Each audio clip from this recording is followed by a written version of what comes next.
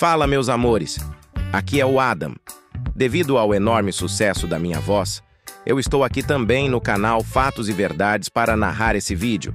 E você deve estar se perguntando: o que essa cachorrada tá fazendo aqui? É que vamos mostrar algo nunca visto antes. Tudo me parece que deu uma louca nos bichos e eles foram parar dentro das igrejas. Isso mesmo, ou seja, é uma prova que os bichos também sentem a necessidade de buscar a Deus em seus momentos mais difíceis. Então já capricha o dedo no like e se gostarem vamos trazer mais vídeos nesse formato, certo? Mas antes precisamos lembrar que os animais são seres importantes para nós humanos.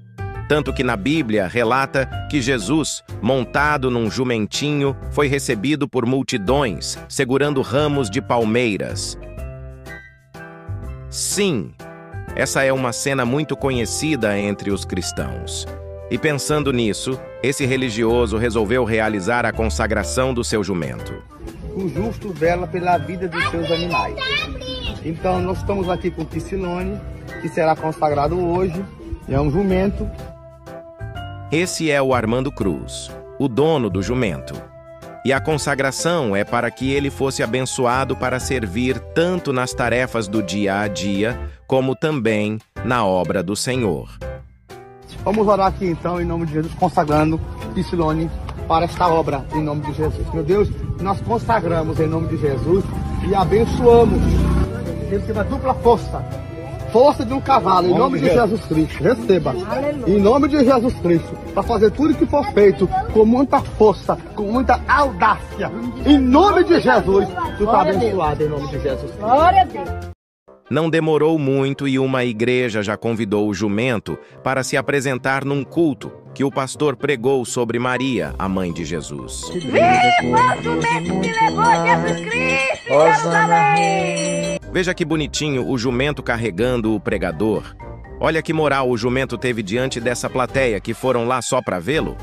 Com certeza ele lembrou de seus antepassados, quando um de sua espécie fez muito sucesso ao carregar Jesus na entrada triunfal de Jerusalém. Mas não é que o jumento do Armando Cruz ficou famoso, mesmo que até essa outra igreja já chamou também para apresentar.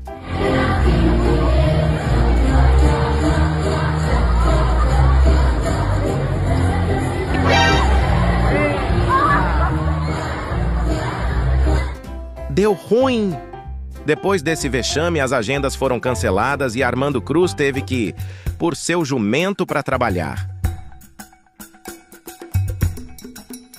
É, infelizmente, foi decepcionante e os dias de glórias acabaram.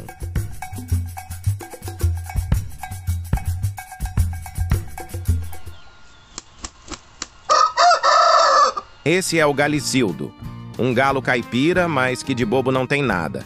Ele botou terror no terreiro ao acabar com Dognaldo numa briga.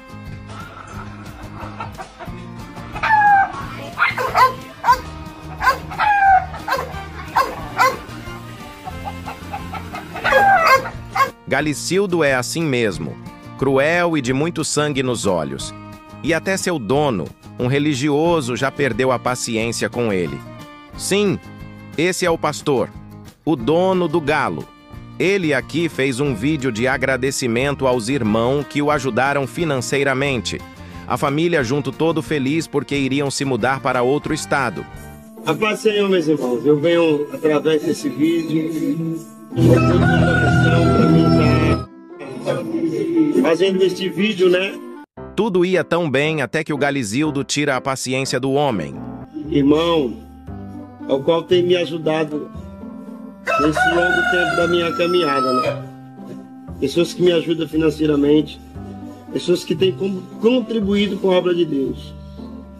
E eu já venho já um, um processo com a minha família já. E nós estamos de mudança para o estado do Goiás. E Deus tocou no meu coração para mim fazer esse vídeo, porque no momento eu não estou com condição financeira de estar tá indo para aquele estado Galo, filho de rapariga! E depois desse espavento, o Galizildo, com medo de morrer, foi parar na igreja. Amém. O Galo está dizendo amém, eu creio. Hã? Mateus capítulo 4, versículo 18, 19 e 20. Diga amém, Galo. Esse Galo é de Jesus. E se pensa que ele endireitou? Que nada, olha só o que ele fez com Fubá, o cachorro da vila de baixo.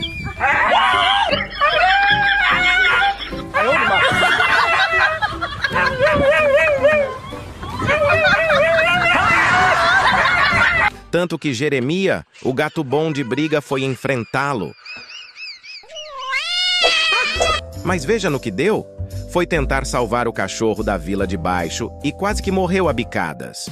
Os cachorros agora respeitam muito Galizildo e até aprenderam o idioma galianês.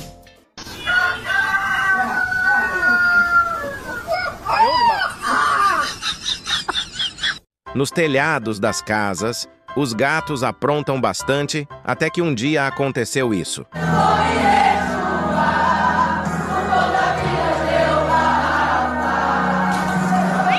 É isso mesmo, um bichano despencou do teto bem na hora que as irmãs da igreja louvava a Deus. Lógico que o gato quebrou uma pata e precisou chamar o doutor. Jeremia ficou sabendo do amigo Bola Murcha, que caiu do teto numa igreja e quis conhecer como era esse ambiente religioso.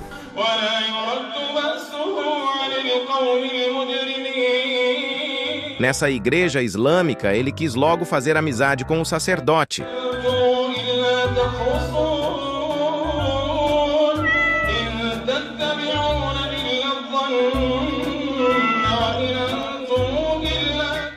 Jeremia percebeu que esse povo é realmente amigável e correu para avisar seus amigos. Nessa igreja, o pastor pregava um lindo sermão. Seus filhos estão aqui nessa noite, uma boa parte deles. Outros estão em casa. E Bola Murcha, já recuperado da queda, foi visitar essa igreja. Estamos, ó Deus, vivendo neste mundo, na escola de Querite e de tão emocionado que ficou, já aproveitou para dar uma nadada no tanque batismal, já treinando para um possível batismo. Ajude, ó Paizinho, a passar por esse querite e muito em breve receber o diploma das mãos de Jesus Cristo. Bola Murcha ficou famoso e foi até lembrado por outros pastores. Eu vim conferir aqui se tinha água no tanque batismal ou não, porque eu, assim como o restante do mundo, eu vi a cena do gato. Eu vou até perguntar aos diáconos: o gato foi recolhido? Mas parece que Bola Murcha não quis saber de religião, não, e começou a procurar encrenca com os cachorros da vila de cima. A vila dominada pelas gangues caninas. Esta é a cidade de Cachorro Sentado, perto da Doggerlândia, que fica lá no estado de Goiás.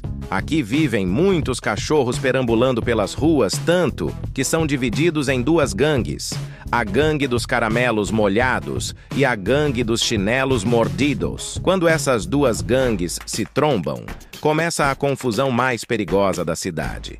Caramelo Júnior já larga uma pata de esquerda no meio da lata de Carlinhos Cheiratoba.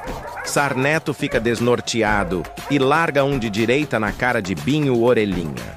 Carlinhos cheira toba e Marcola das bolas vermelhas se estranham e começam a se pegar na pancada também e tudo se torna em uma verdadeira confusão desarrumada. De repente a polícia chega e todos fogem. Porém apenas Juninho Bufa Ardida fica para trás e acaba indo em cana. Olha como Juninho Bufa Ardida se encontra.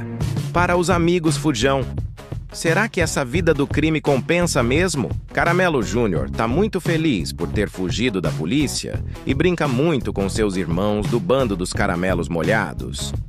Zé Lombriga, Juca Rabo Grande estavam com muita saudade de Caramelo Júnior. Caramelo Júnior se encontra feliz aqui junto de seus amigos do crime e já faz treinamento para correr atrás das motos na rua da cidade. Muito doidão, ele conversa com seus amigos sobre um novo plano que é daqui para frente comer muito pão todos os dias. E para isso precisam invadir o território da Gangue dos chinelos mordidos, que lá tem uns lugares que dão mole e é bem fácil conseguir muito pão. Para essa missão, manda Zé Lombriga e Juca Rabo Grande chamar o novo membro da gangue, o Lambernardo, para executar o plano que é roubar um saco de pão. Lambernardo chega no local disfarçando, vê que não tem ninguém e se apressa a pegar o saco de pão. Como não consegue pegar dois sacos, ele sobe na mesa e pega o mais apetitoso arruma na boca e sai correndo para levar ao chefe da gangue, o Caramelo Júnior, que saboreia essa delícia de pão. Seus amigos também. Mas eles nem imaginavam que um vigia da gangue dos chinelos mordidos viu tudo da sacada de seu dono e não ia deixar isso barato, não. A nova missão de Caramelo Júnior e seu bando agora era invadir uma igreja católica. O plano que bolarão era distrair a paróquia. Enquanto isso, Caramelo Júnior chega de mansinho e espera o padre olhar para o outro lado. Vendo que estavam bem distraídos, abocanha o pão da Santa Ceia e sai rápido antes que alguém descobre o roubo. O bando viu que furtar pão da igreja era muito fácil. Isso porque sempre ouviam falar que quem comece daquele pão jamais terá fome. Então, Caramelo Júnior dessa vez mandou o Tonho Caganeira que muito ardiloso tentou estragar a missa. Iniciamos o tempo do advento. Olha ele aí. Bem à nossa frente nós temos alguns símbolos que vão nos lembrando e também nos recordando o tempo do advento. Um deles está sendo inclusive carregado agora. Sim, depois de constantes furtos na igreja, o padre não teve outro jeito a não ser sair pelas ruas abençoando os cachorros. Ai, ai, que susto! Você quase que me mata de susto! Susto! Você quase que me mata de susto! E pediu que levassem seus cachorros para receberem a bênção na igreja. A repercussão foi tanta que chamou a atenção dos repórteres que vieram para fazer matérias. Mas os cachorros, sabendo que ia pegar mal para eles, trataram logo de atrapalharem. Nem as mais belas repórteres escapou da fúria dos cachorros. Esse é o Juca Rabo Grande que foi colocado pela gangue dos caramelos molhados para envergonhar essa repórter.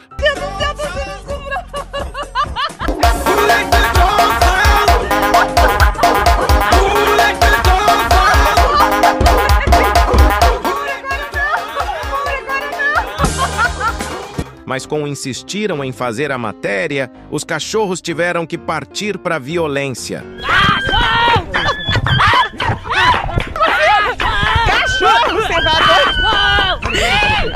Nossa Senhora, minha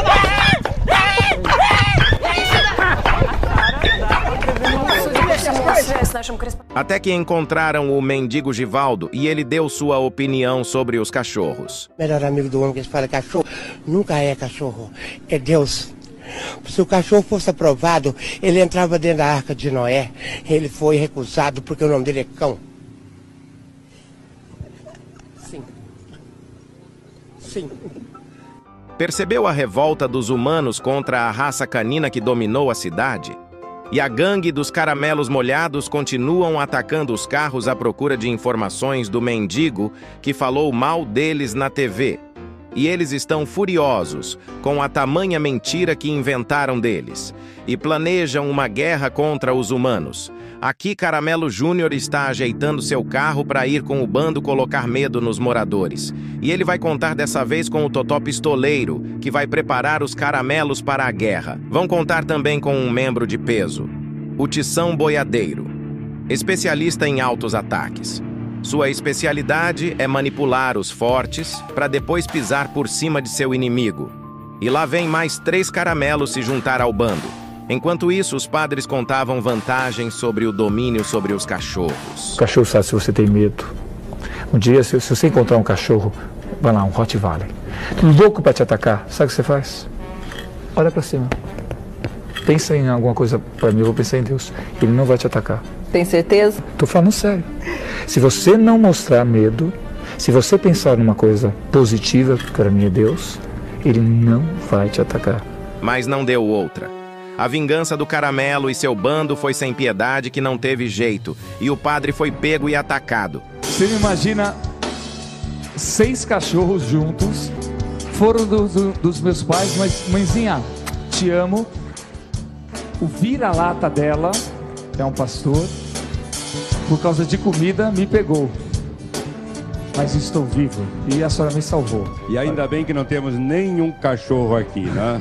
Você não quer? Entre os caramelos, a informação é que esse relato do padre é mentira. E olha como estão no esconderijo secreto, alegres e dançando por ter botado terror na cidade. Isso no leite de coco, no leite de coco, no leite de coco, leite de coco, leite de coco.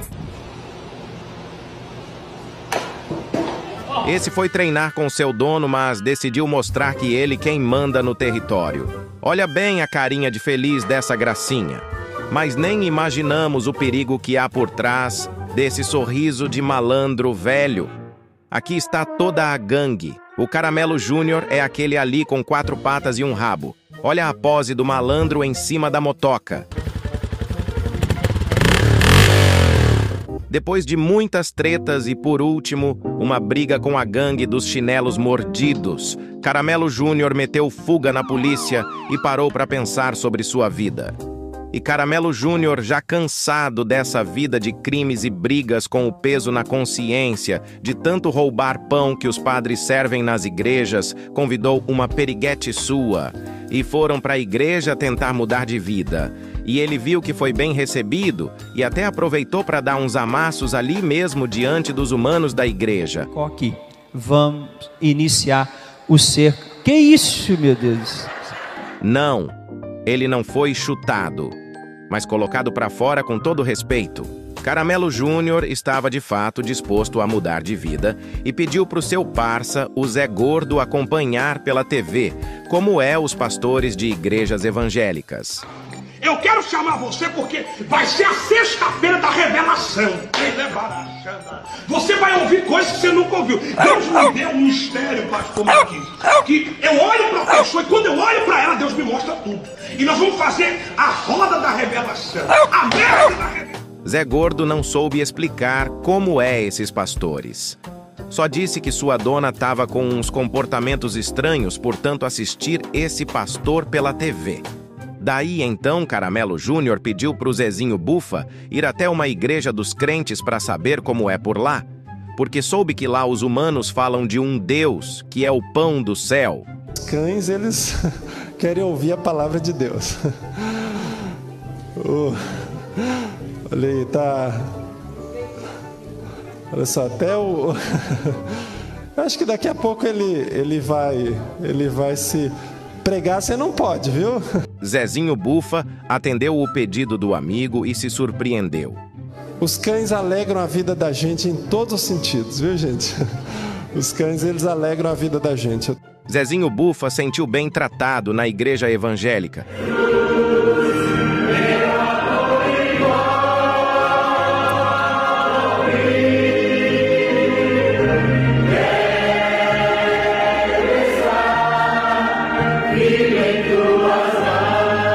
Outro dia estava lá então o Caramelo Júnior no culto. E olha a cara do Caramelo Júnior ao ouvir essas lindas palavras da irmã. Essa da Bíblia que diz que Jesus cuida das aves e dos animais e de todo o resto. E se ele cuida até desses animais, quem dirá nós que também somos animais? é, e é isso, vamos cantar tudo.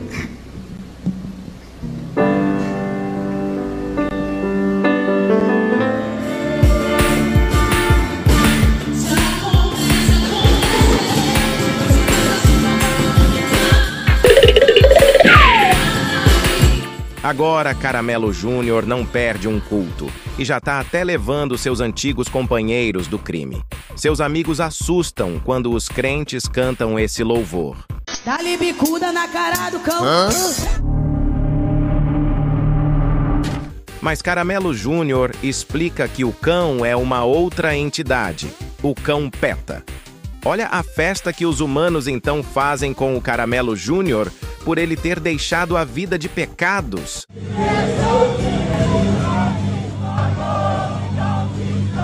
E agora seus amigos já foram adotados por um lar. e estão até ensaiando em casa para tocarem na igreja. Veja só que gracinha! Aqui é o Furico Mancha ensaiando um hino no piano.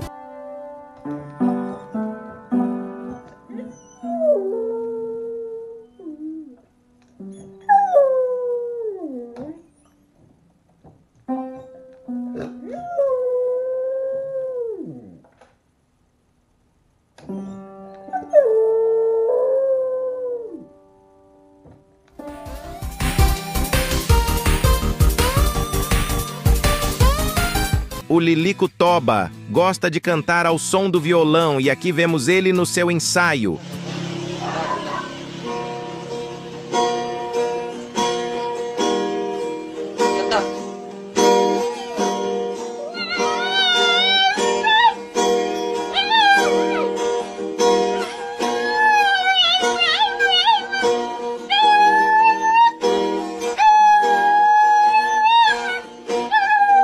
E finalmente tudo saiu bem. Caramelo Júnior se tornou evangélico. O Chico Fubá decidiu seguir a religião católica e não perde uma missa. Já o Tonhão Coceira preferiu seguir a casa de Macumba e até já está participando da roda.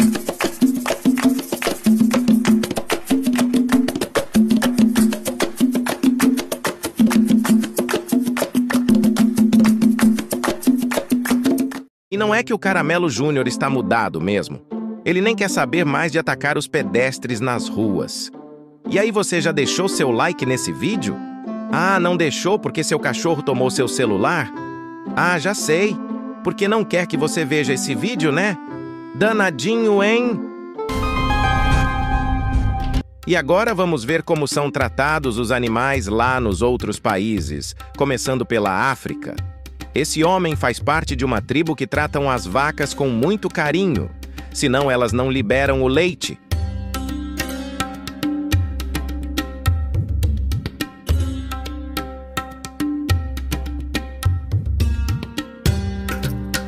É isso mesmo? Ele dá uma chupada na precheca da vaca e assim consegue uma esguichada de leite. E agora nós vamos para a Índia, um país muito diferente de uma cultura esplêndida, onde as pessoas são saudáveis, felizes e muito bonitas. Veja essas lindas gatinhas aqui esperando para saborear um quibe nessa barraquinha de comida de rua.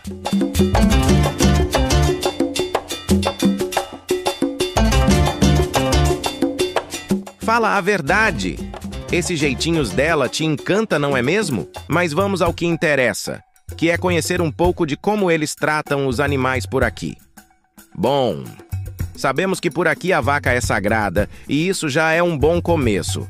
Tanto que elas são tratadas com todo amor e carinho. Veja o amor que essa indiana tem por sua vaquinha.